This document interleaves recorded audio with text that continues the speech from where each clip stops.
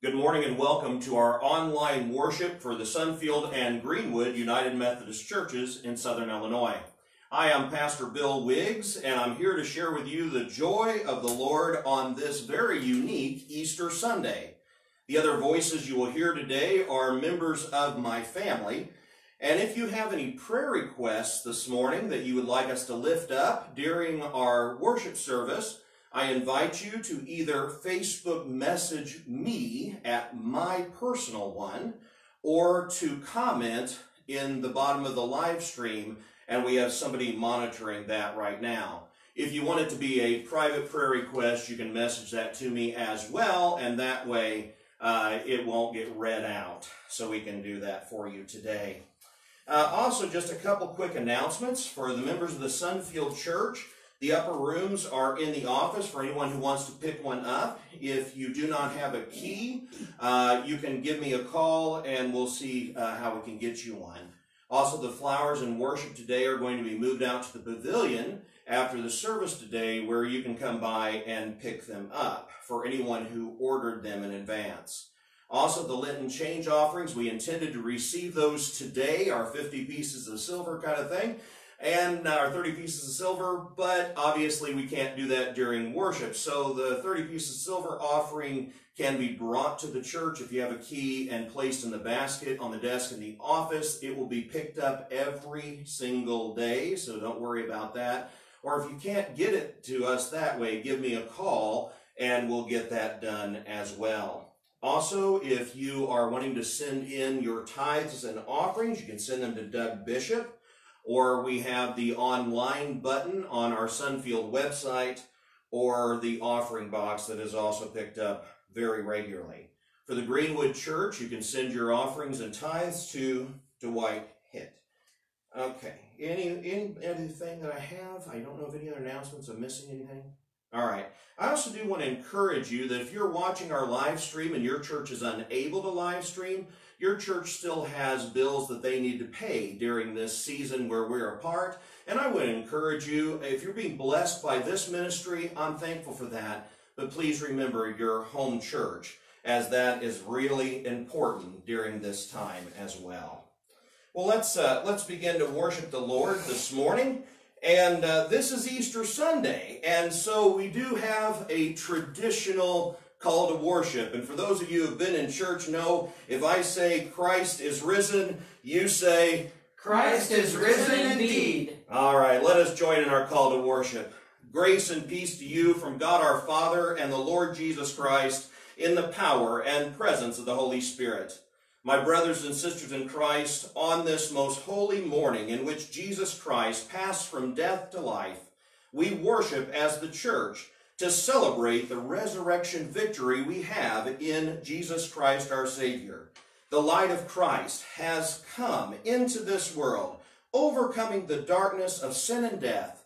Christ is our light and our salvation. Alleluia. Christ is risen. Christ is risen indeed. Alleluia. Christ is risen. Christ is risen indeed. Amen. Let us worship the Lord this morning.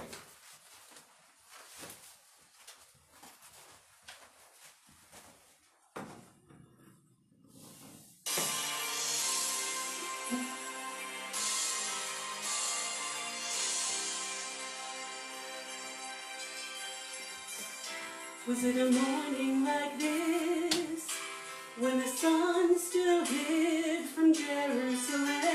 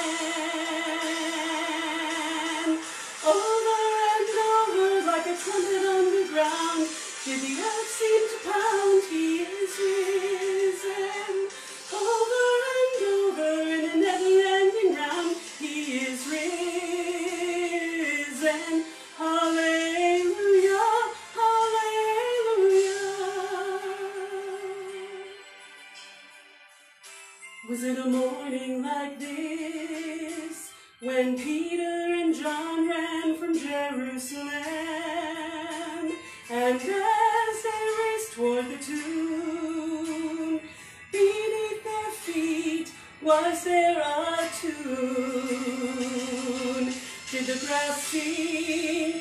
Did the earth rejoice to feel you again? Over and over like a trumpet underground, did the earth seem to pound? He is risen.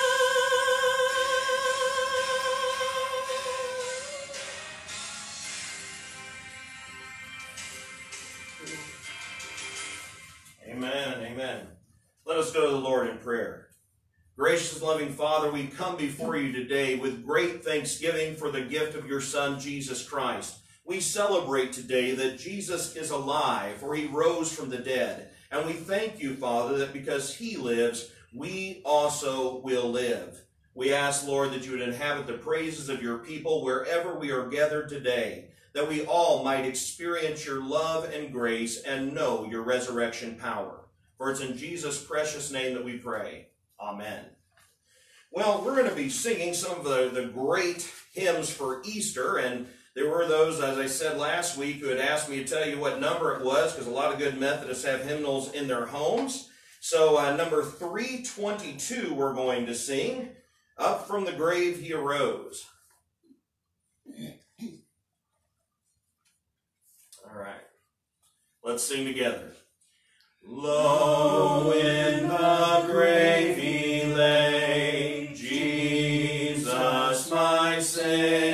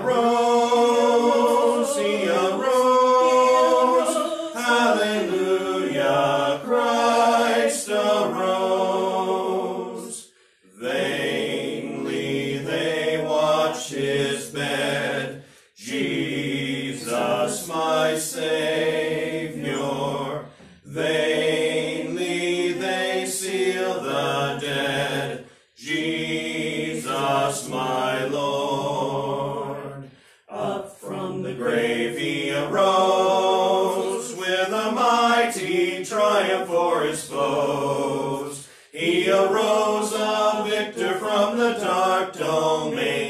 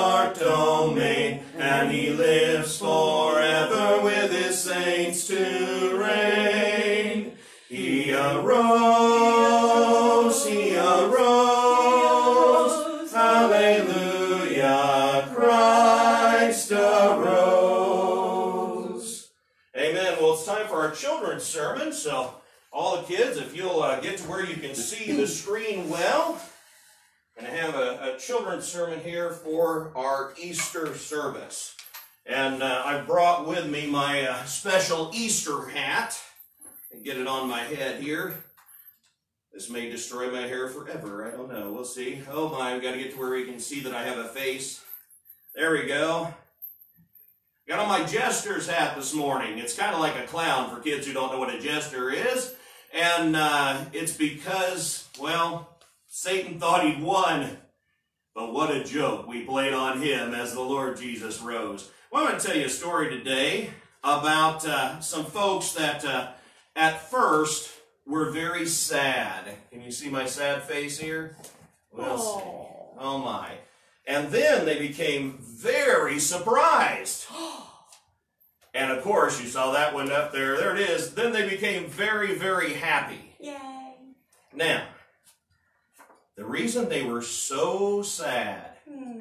was because Jesus, their friend, their Lord, had died on the cross. They had seen him die. They had seen him laid in a tomb. And early on Sunday morning, the disciples came to the tomb. First, the, the ladies came, and then later the men. And they were so sad because they thought Jesus was gone, gone forever. But then, when they got there, they saw that the tomb was open. It was open, and Jesus wasn't in the tomb, and there were angels there. And they told him that, well, Jesus had risen from the dead. He's not here. And so they were extremely surprised. But then, as they turned to leave, Jesus met them. And they were greatly happy because Jesus had rose from the dead.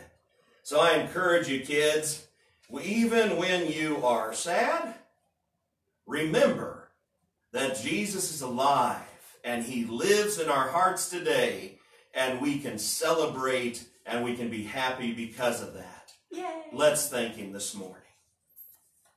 Lord Jesus, we thank you and praise you for this day of Easter. We thank you for each of these children who are listening today. We ask, Lord, that you'd bring joy to their hearts.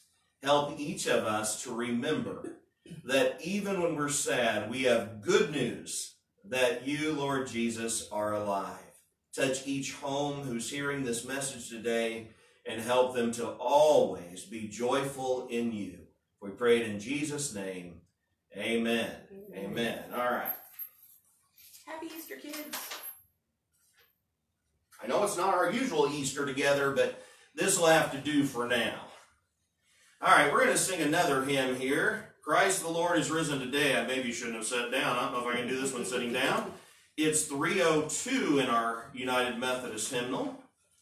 And I decided not to look them up in advance, so it'll give you a little bit of time for those who are looking at home. If I can get my pages turned, that is.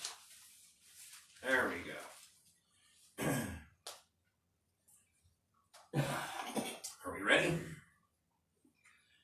Christ the Lord is risen today.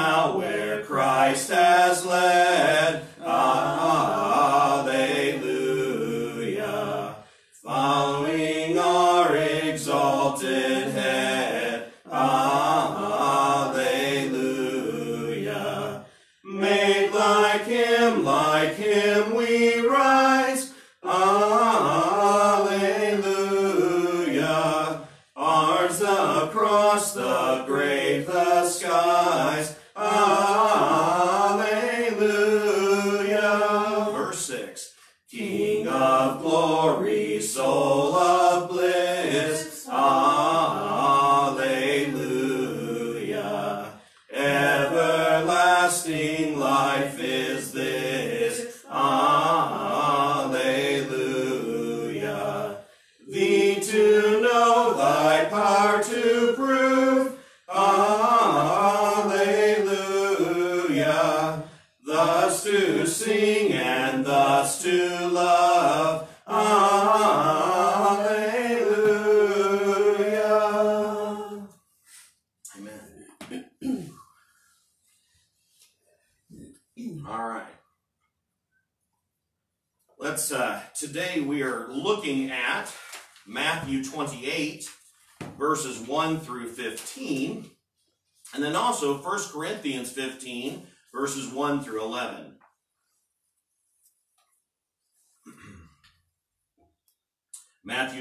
8, verses 1 through 15. I'm reading from the New Living Translation, and I'm going to begin with the gospel lesson from Matthew 28.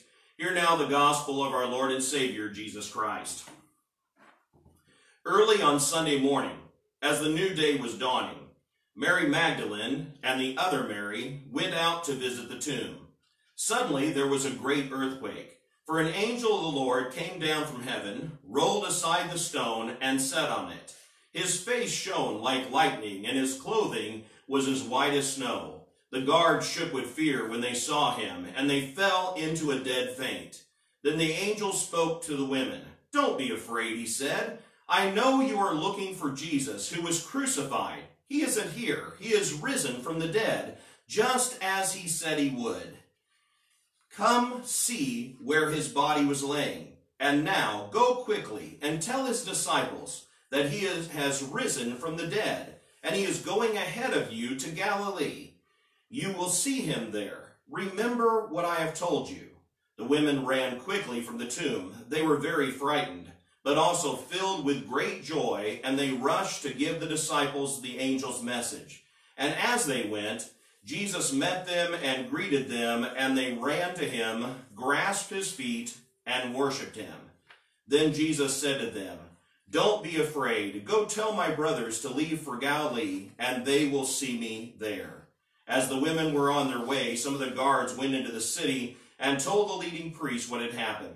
A meeting was of the elders was called, and they decided to give soldiers a large bribe. They told the soldiers, You must say, Jesus' disciples came during the night while we were sleeping, and they stole his body. If the governor hears about it, we'll stand up for you, and so you won't get in trouble. So the guards accepted the bribe and said what they were told to say, and their story spread widely, widely among the Jews. And then from 1 Corinthians 15, verses 1 through 11, let me now remind you, dear brothers and sisters, of the good news I preached to you before. You welcomed it then, and you still stand firm in it. It is this good news that saves you if you continue to believe the message I told you, unless, of course, you believed something that was never true in the first place. I passed on to you what was most important, and what had also been passed on to me. Christ died for our sins, just as the scripture said. He was buried and he was raised from the dead on the third day, just as the scripture said. He was seen by Peter and then by the twelve. After that, he was seen by more than 500 of his followers at one time, most of whom are still alive, though some have died. Then he was seen by James and later by all the apostles. Last of all, as though I had been born at the wrong time, I also saw him. For I am the least of all the apostles. In fact, I'm not even worthy to be called an apostle after the way I persecuted God's church. But whatever I am now, it is all because God poured out his special favor on me and not without results. For I have worked harder than any of the other apostles, yet it was not I, but God who is working through me by his grace. So it makes no difference whether I preach or they preach, for we all preach the same message you have already believed. This is the word of the Lord for his people today. Let us rejoice and be thankful for all Christ has done, is doing, and will do. Let us pray. Lord, open our hearts by the inspiration of your Holy Spirit. Teach us from your word today that we may bring glory and honor to you. And may the words of my mouth and the meditations of all of our hearts be acceptable and pleasing in your sight, our rock and our redeemer. Amen. Well, as we worship together today, we come to remember the sacrificial death of Christ our Savior and the joy and power of the resurrection. In the words of the Apostle Paul, we can hear this call to remembrance. Let me now remind you, dear brothers and sisters, of the good news I preached to you before. The church at Corinth had had a hard time holding on to the promise of resurrection as so many people still do today. They saw death and decay around them, and it was hard for them to understand that the sufferings of this present time are not worthy to be compared with the glory which shall be revealed to us in the last day.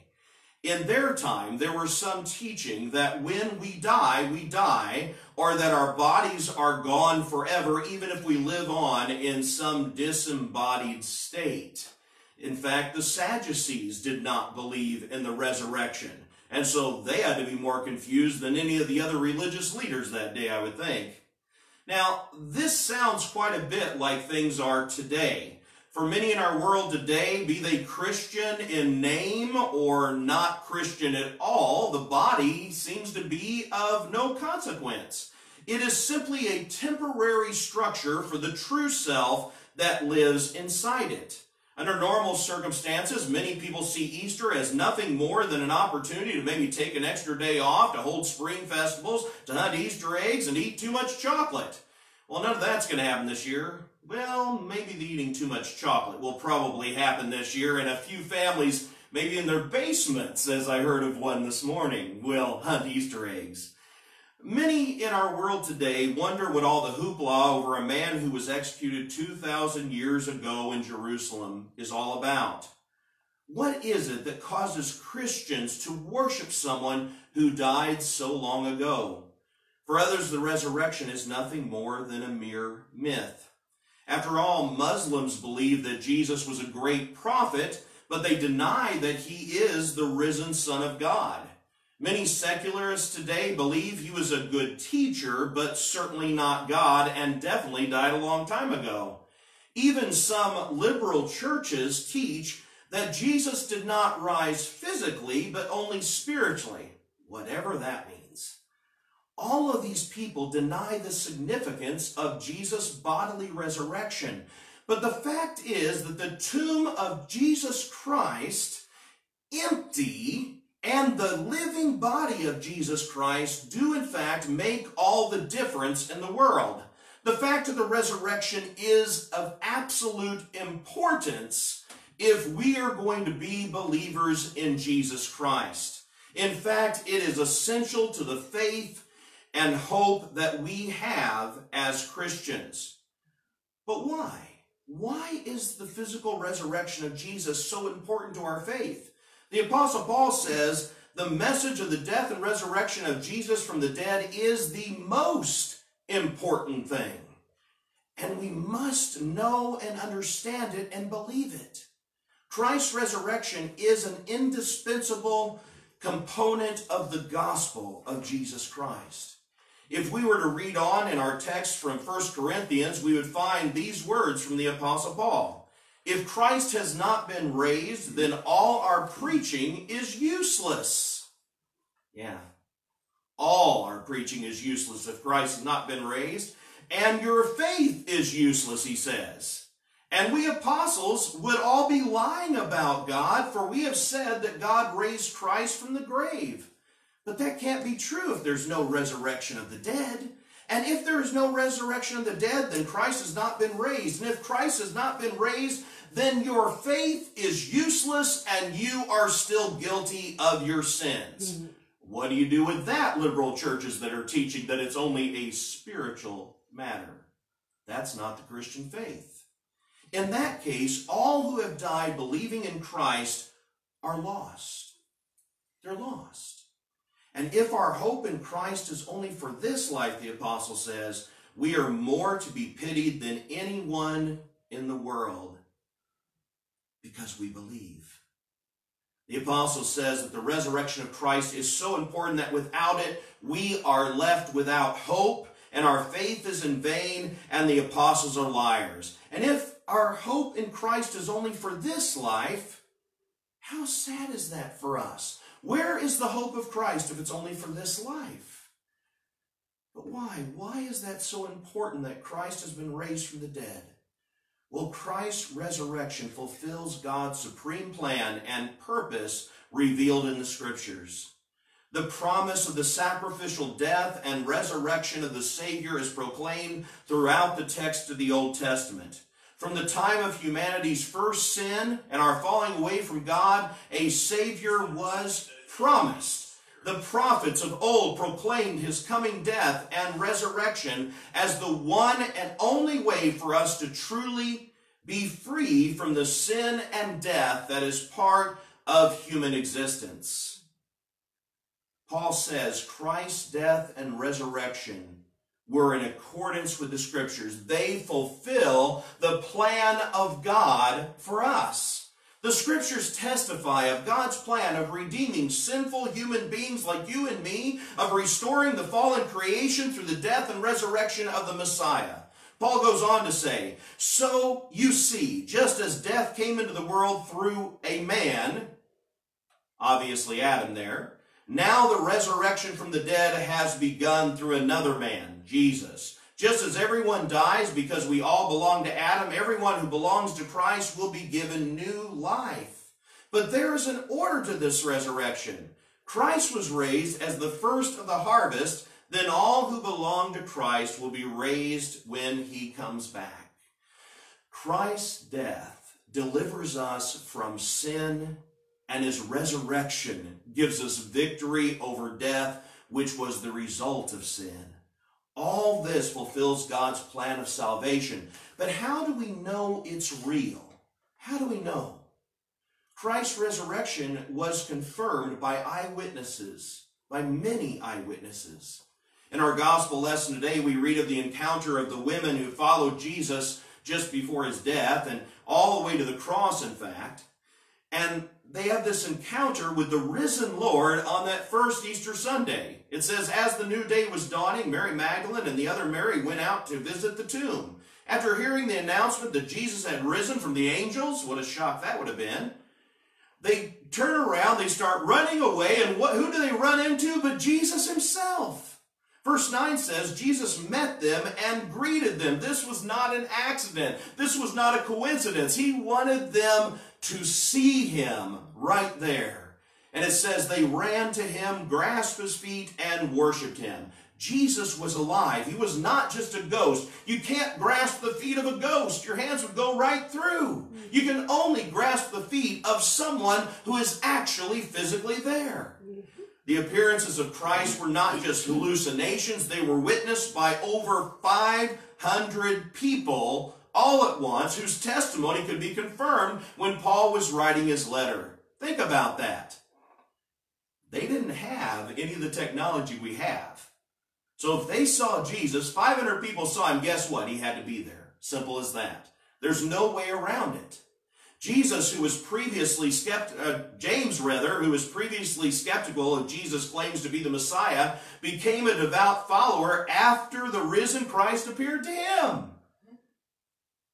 His own brother didn't believe. But then Jesus shows up, and when your brother shows up, you got to believe. Amen? Amen. Paul, who was previously antagonistic to Jesus' claims to be the Messiah, and who had even been involved in causing the death of Christians, became a zealous missionary after the risen Christ appeared to him. That's all good, right? That's all well and good. Those accounts of the resurrection are all found in Scripture. So how can we trust them? It's an old document. Well, many years ago now, I read uh, something that Chuck Colson had to say about this. Uh, if you're not familiar with him, most most people are, but he was a former advisor to President Nixon. He was key, a key player in the Watergate scandal that brought down the Nixon administration. And uh, after his arrest and during his trial and imprisonment, he accepted Christ. And he said this, I know the resurrection is a fact, and Watergate proved it to me. Now listen, how? Because 12 men testified they had seen Jesus raised from the dead, then they proclaimed that truth for 40 years, never once denying it. Every one of them was beaten, tortured, stoned, and put in prison. Many were put to death. They would not have endured that if it weren't true. Watergate embroiled 12 of the most powerful men in the world, and they couldn't keep alive for three weeks. I love that. He says, You're telling me 12 apostles could keep alive for 40 years. That's absolutely impossible. Even those soldiers, remember the soldiers? Here they are, they're at the tomb. The earthquake happens. The tomb opens up. They see Jesus and they just are out cold, man. This freaks them out because they see him. But when they come back to themselves, they run into the city and they tell what they've seen. And the religious leaders doing what they did at that time, protecting their own back porch, they paid them off. But even they couldn't keep the lie because we wouldn't know about it if those soldiers hadn't later told about it. Mm-hmm. Think about it. They saw him come out of the tomb. How can you keep that silent forever? Not even those who were paid to keep it silent could do it. Oh, the, they passed that lie around a bit, but it died out after a while because you can't get away from the absolute truth of the resurrection. Amen. Not only that, not only all of these witnesses, not only the understanding that 40 years is a long time to keep alive. How about 2,000 years? We know the resurrection of Christ is true because of the power it still has to change lives today. In him, all who believe are given new life. We are made new creatures because of the power of the resurrection of Jesus Christ. You see, Christ's resurrection is the basis on which we stand forgiven and saved. Jesus' victory over sin and death is the reason we can stand before the judgment of God, forgiven and righteous. When Jesus died on a criminal's death on the hill of Golgotha outside of Jerusalem, hope died with him that day. His disciples and many others had come to believe in him as Messiah. Then the scourge tore into his back, and merciless nails were pounded through his hands and feet. When he died on the cross and was buried, the hope of so many was buried with him. But they did not know, they did not know that death and burial was the first movement in a wonderful symphony of salvation. His sacrificial death on the cross was a payment, not for his sins, for he had none but for ours. It was the shedding of blood that was the atonement for our sins. He died in our place. For the wages of sin is death, but the gift of God is eternal life in Jesus Christ our Lord, Romans 6.23 tells us. Amen. But without the resurrection, we would still be lost in our sins. It is because Christ has been raised from the dead that we have assurance or proof that God has completed our salvation. Mm-hmm. Because God vindicated Jesus by raising him from the dead. We know that his promises and forgiveness of sins are true. That we have been saved, rescued, and delivered. Because he lives, we have confidence that our salvation is not a pipe dream based on empty hopes, but on a firm expectation based on Jesus' resurrection from the dead. Because he lives, we live in newness of life, and we shall live eternally. Christ has been raised from the dead. He is the first of a great harvest of all the dead, the apostle says. So you see, just as death came into the world through a man, now the resurrection from the dead has begun through another man. Just as everyone dies because we all belong to Adam, everyone who belongs to Christ will be given new life. Brothers and sisters in Christ, the truth is, unless we hear that final trumpet blast, unless Christ returns before we die, all of us will face death. All of us have lost loved ones. But if they believed in Jesus Christ, and if we believe in Jesus Christ, then Jesus is just the first of the harvest that is to come of resurrection. For because he lives, we will live forever. We have eternal life in him, and someday, these bodies, though they decay, though they get sick, and though they die and are buried in the grave, will rise again and will be perfected and we will live in glory with him. Amen. This body that he has given us is meant to be eternal. And because Jesus died and rose again, we, all of us, complete, will be risen to new life and live forever in the new heaven and the new earth. That is what the good news of Jesus is. Without that part of it, then we are without hope like those who do not believe. Anyone who preaches anything else has lost the truth of the gospel. And it is worse than having never believed. We will rise again because Jesus is alive. It is because of this that today we can proclaim with joy that Christ is risen Christ is risen indeed. Christ is risen. Christ is risen indeed. You at home, Christ is risen. I can almost hear you from here. Christ is risen indeed. We believe that today. We proclaim that today. And we give glory and honor to God, who's given us new life in his name. Thanks be to God for this gift of salvation and this new resurrection life. In the name of the Father who loves us and gave us his Son, Jesus Christ, to die on the cross and then didn't leave us alone but filled us with his Holy Spirit. Amen. Amen. Well, if you are a member of one of the two churches who are a part of this congregation, the Sunfield and Greenwood United Methodist Churches, most, if not all of you, will have received communion elements this week. There also is a paper in those communion elements that has in it our liturgy for today.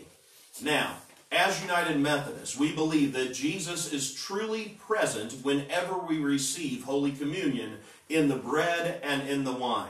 We believe He's present with us. We also believe that communion is meant to be a community meal. Today it's a little harder to do that. And so we gather in our homes. We gather with the few who are gathered here today and you have received already consecrated elements in order that they are made ready for you to receive Holy Communion. I invite you to get those now and prepare them. Uh, you'll notice it has a couple of seals on it that you need to open up. Be careful so it doesn't spill there.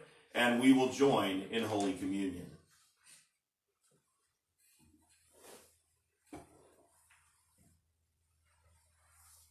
You have your liturgy in front of you. Follow along and join with me and participate. Do you want to pass us ours? Yes. Okay. Going to pass out the communion here.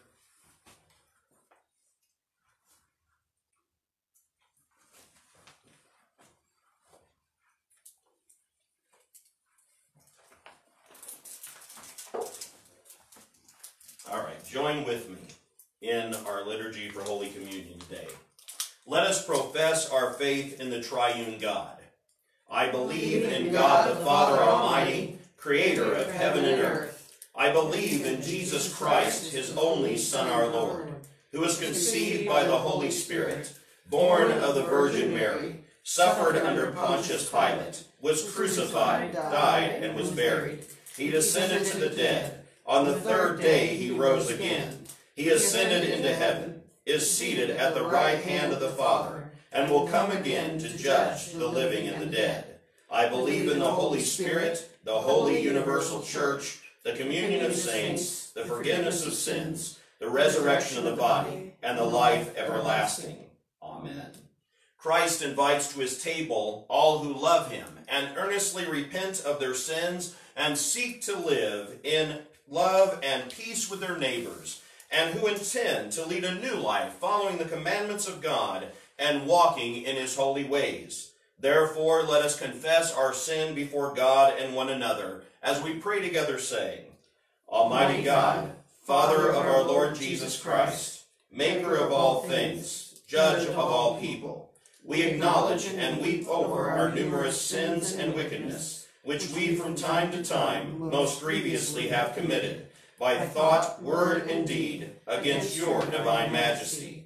We do earnestly repent and are heartily sorry for these our misdoings. The remembrance of them is grievous unto us. Have mercy on us, have mercy on us, most merciful Father. For your Son, our Lord Jesus Christ's sake, forgive us all that is past, and grant that we may ever hereafter serve and please you in newness of life, to the honor and glory of your name, through Jesus Christ our Lord. Amen. Hear the good news. Christ died for us while we were yet sinners, thus proving his love for us. In the name of Jesus Christ, you are forgiven. In the name of Jesus Christ, you are forgiven. Glory to God. Amen. The Lord be with you. And also with you. Lift up your hearts. We lift them up to the Lord. Let us give thanks to the Lord our God. It is right to give our thanks and praise. It is right and a good and joyful thing, always and everywhere, to give thanks to you, Father Almighty, creator of heaven and earth. You formed us in your image and breathed into us the breath of life. When we turned away and our love failed, your love remained steadfast. You delivered us from captivity, made covenant to be our sovereign God, brought us to a land flowing with milk and honey, and set before us the way of life. And so with your people on earth and all the company of heaven, we praise your name and join their unending hymn. Holy, holy, holy Lord, God of power and might, heaven and earth are full of your glory. Hosanna in the highest. Blessed is he who comes in the name of the Lord. Hosanna in the highest. Holy are you, and blessed is your Son, Jesus Christ. By the baptism of his suffering, death, and resurrection, you gave birth to your church, delivered us from slavery to sin and death, and made with us a new covenant through his blood and in the power of your indwelling spirit. By your great mercy, we have been born again to a living hope through the resurrection of your Son from the dead and to an inheritance that is imperishable, undefiled, and unfading. Once we were no people, but now we are your people, declaring your wonderful deeds in Christ, who called us out of darkness into this marvelous light. Jesus, on the night in which he gave himself up for us, took bread, and he gave thanks to you, Father, and he gave it to his disciples, saying, This is my body which is broken for you. Take and eat it in remembrance of me. When the supper was over, our Lord took the cup, gave thanks to you, gave it to his disciples, and said, Drink from this, all of you. This is my blood of the new covenant, poured out for you and for many for the forgiveness of sins. Do this as often as you drink it in remembrance of me. On the day you raised him from the dead, he was recognized by his disciples in the breaking of bread. And in the power of your Holy Spirit, your church has continued in the breaking of the bread and the sharing of the cup. And so, in remembrance of these your mighty acts in Jesus Christ, we offer ourselves in praise and thanksgiving as a holy and living sacrifice in union with Christ's offering for us as we proclaim the mystery of faith. Christ has died, Christ is risen, Christ will come again. Pour out your Holy Spirit on all who worship with us today as we receive these elements of bread and wine already consecrated before you. May we who partake of them receive the sacramental grace found in this holy meal and of the body and blood of Christ, that we may be his body in this world, redeemed by his blood. By your Spirit, make us one with Christ, one with each other, and one in ministry to all the world, until Christ comes in final victory, and we feast at his heavenly banquet. Through your Son, Jesus Christ, with the Holy Spirit in your holy church, all honor and glory is yours, Almighty Father, now and forever. Amen. And now, with the confidence that we are indeed children of God, let us pray together the prayer our Savior taught us. Our Father, who art in heaven, hallowed be thy name. Thy kingdom come, thy will be done, on earth as it is in heaven. Give us this day our daily bread, and forgive us our trespasses, as we forgive those who trespass against us. And lead us not into temptation, but deliver us from evil. For thine is the kingdom, and the power, and the glory forever. Amen. All right, if you've not yet opened your cups, go ahead and do that at this time. And we'll be partaking together to the best of our ability. Mine's sticking a little bit. There's two separate seals. There's a clear one and then a purple one. Yeah, two separate seals. I'm trying to get both of mine off here so we can get to it. I know if I'm having a little trouble, so are you at home. Mm-hmm. If your hands shake like mine do, you're definitely having trouble. I peeled off the clear seal first and got the wafer, and then I peeled the purple seal. Well, you know, I do things the hard way. Well, yeah.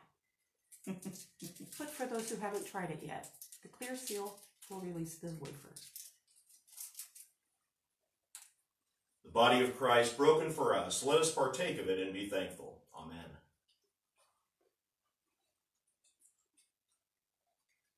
The blood of Christ poured out for us that we might be forgiven. Let us partake of it and be truly thankful for all Christ has done. Thanks be God. Amen. Let us pray. Eternal God, we give you thanks for this holy mystery in which you have given yourself to us. Grant that we may go into the world in the strength of your Spirit to give ourselves for others.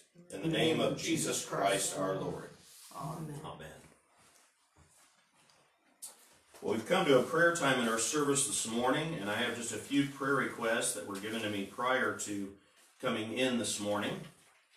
Got to get to the right sheet here. We need to be in prayer today for the family of Janet Eisenhower, who died suddenly this week. Also, during this season of social distancing and stay at home orders, we need to be praying for those with addictions that they might uh, not relapse, and that if they have relapsed, that they might find the strength in God to uh, to be able to get a handle on this again. Also, be in prayer for those who deal with anxiety and depression during this time. Also need to be in prayer for Mary. We've been praying for her the last couple of weeks. A little update on her. She has been moved to a rehab now. And after the uh, mandatory quarantine, they'll be working with her. She is talking and doing as well as can be expected right now. Also pray for baby Nyla. Uh, she needs our prayers right now. Also, uh, we need to be in prayer for expectant mothers today. There are many who we know are expecting babies and received word this morning that Beth Lazenby's niece, Sarah Leanne, is currently in labor. so Oh, we wow. should be getting an announcement of a baby pretty soon, and we're looking forward to that. Tomorrow, our daughter Sarah will go to the hospital, and Mike gets to go with her, thankfully. And uh, about 8.30 tomorrow night, uh, they'll be inducing so that we'll be able to have our uh, Elizabeth Grace soon. So we need to be in prayer for them as well. And just pray that God will bring a safe delivery. Uh, we need to continue to pray for all those who work in our medical field and all those who are considered essential workers who have to be in public. We need to pray for the COVID 19 crisis itself, as there are many who are sick throughout the world, and the doctors and scientists are working on a cure for that. So we do need to lift them up to the Lord. Do we have any prayer requests that came No. in? No prayer requests came in during the time. I must have got them all beforehand. So let's go to the Lord in prayer. Heavenly Father, we come before you today on this Easter as we celebrate the resurrection of our Lord and Savior Jesus Christ. We ask, Father, that you would be with those who mourn today and remind them of the hope of the resurrection as you wrap them in the arms of your love and grace. We pray for all those today who are dealing with depression or anxiety during this time of social distancing and stay at home orders. And Lord, just the general overall anxiety level that many are in right now due to this crisis. We ask, Lord, that you would be with them and give them strength. We ask, Father, that you would be with those who are dealing with addiction, that this might not be a time that they uh, fall back into that addiction. But Lord, that you would give them the strength in order to stay firm and stay sober in this. We pray for those who have already uh, fallen back into their addictive patterns. We ask God that you would deliver them, that you'd give them peace, that you would work within their hearts and minds and whatever is causing them to turn to their addiction. Lord God, would you heal that in them? Father, we believe that you can heal our hearts, you can heal our minds, that you can heal every part of our being, that you can heal our bodies. And so, Lord, we just ask that you would touch each and every heart, heal everything that is broken in them, that they might be whole and that they may know the joy of your salvation. Lord God, we lift up Mary to you. We ask, Father, for your continued touch on her life and on Delton's life and on the whole family. We ask, Lord God, that you would give them strength and encouragement. We lift up baby Nyla to you today, Lord, and we just ask that you would be with her and uh, just bring your strength to her family and your healing power. Lord God, we pray for all of the expectant mothers. We ask, Lord, that you would protect them and care for them. We pray for Sarah Leanne as she has her baby today, and we pray for our Sarah as she goes to the hospital tomorrow night. Would you protect these women? Would you protect their children? Lord, would you bring this joy into these families that comes? For Lord, we know that every child, every single child is a gift from you and is well loved by you. Lord, bless these families now in Jesus' name that they may experience your power and your love in the midst of everything that's going on. Lord God, we do pray for all of our healthcare workers, all of those who are expected to go to work every day despite this virus. We ask, Lord, that you would keep them healthy, that you would heal the sick, and Lord, that you would pour out your healing power on the nations. We pray for our military men and women as they continue to serve, especially those who are dealing with this virus. We ask, Lord, that you would keep them strong. We pray for our leaders, Lord, our president, our Congress, our vice president, and all of our state and local leaders, that you'd give them great wisdom today. We lift up to you all of the congregations of the Christian faith throughout the world today on this Easter Sunday. Lord God, would you help us even in our dispersal around the communities that we are from? Would you help us to know the joy of your resurrection? Be with our church leaders as well. Be with Bishop Bard and give him wisdom. Be with our superintendent Stan and give him wisdom and strength in this time. And help us, Father, to always know you and to love you and proclaim your truth wherever we go. Pour out your spirit on all who worship with us today, that we may know the absolute joy of our salvation. In Jesus' precious name we pray. Amen. Amen. All right, we're going to close this morning with Because He Lives. It is 364 in the hymnal.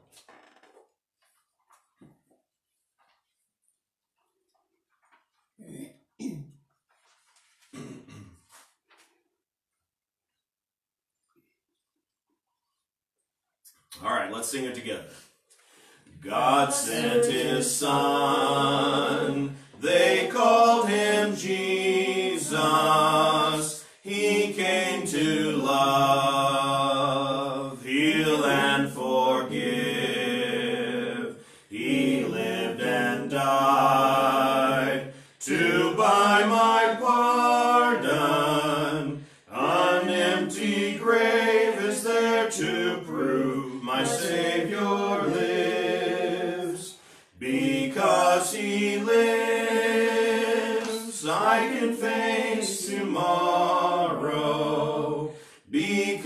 He lives, all fear is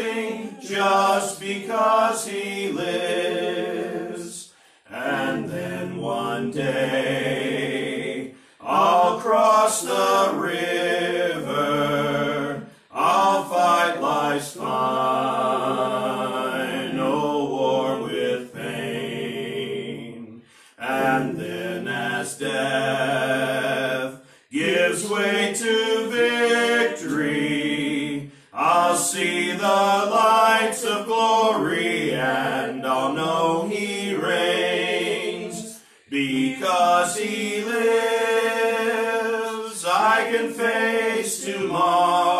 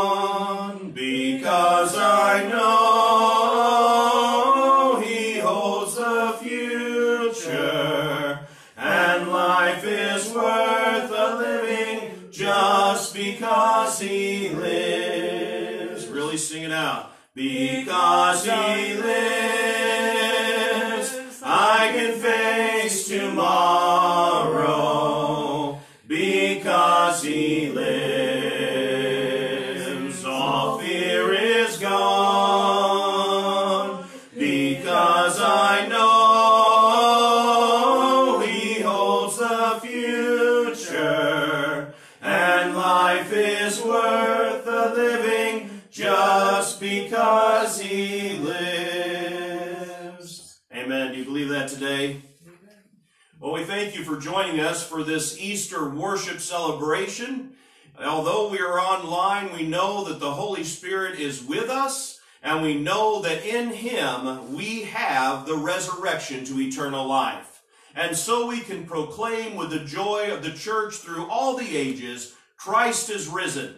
Christ is risen indeed. Glory to God. Amen. And may the Lord bless you today. Let us go forth experiencing His grace, His peace, His love, and the joy of His resurrection today in the name of the Father and of the Son and of the Holy Spirit. Amen.